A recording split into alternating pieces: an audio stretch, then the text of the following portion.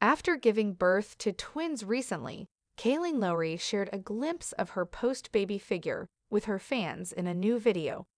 In a recent TikTok, the teen mom actress appeared to be getting ready to go to her son Lincoln's game. The video shows the 31-year-old Kailyn applying cosmetics and hair for the first time since the end of 2023, when she had her twin boys and girls. She wrote, Lost Files, as the caption for the Get Ready With Me style video. After giving birth by C-section, Kailyn was spotted showing off her tummy to fans in a beige sports bra with ribs and matching underwear.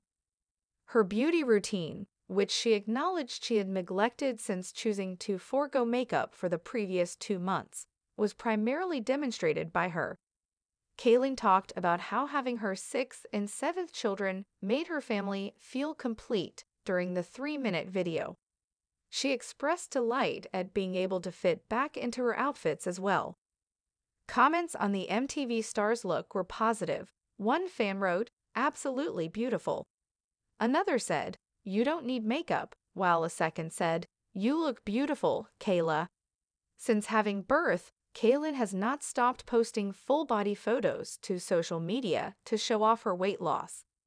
In a new Instagram selfie on Tuesday, Kailyn flaunted her trim post baby figure. In addition to sharing a photo of herself wearing an oversized tan sweater with blue jeans, the mother of seven also announced that she could now wear jeans for the first time in forever.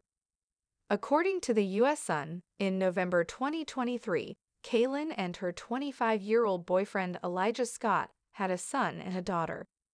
During a podcast episode of Barely Famous in January, the MTV personality formally presented her twins to her fan base. The podcast presenter finally acknowledged that she gave birth at 35 weeks after months of quiet. Kailyn shares kids Isaac, 14, and Lincoln, 10, with her ex husband, Javi Marroquin, and sons Lux, 6, and Creed, 3, with her ex Chris Lopez, in addition to the twins.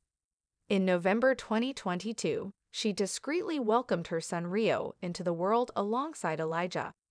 The former cast member of Teen Mom 2 opened up about her experience in the neonatal intensive care unit, NICU, last week in an Instagram video. Kailyn held her infant daughter and covered her with blankets in the brief reel. In the post's caption, Kailyn said, I'm sending so much love to all the NICU babies and families. I am aware that many people have endured far worse hardships than we experienced. I observe you. Kailyn talked about the horrific encounter on her barely famous podcast with Elijah around the end of January. They spent more than a few days there. Some of the families there are there for months at a time, and during the few weeks we were there, we learned so much about them, she disclosed. Kailyn went on, I had never seen a baby in my life not wake up to eat or show signs of hunger. It was tough for the MTV actress to confess that Kailyn sobbed more in the NICU than she did during her C section.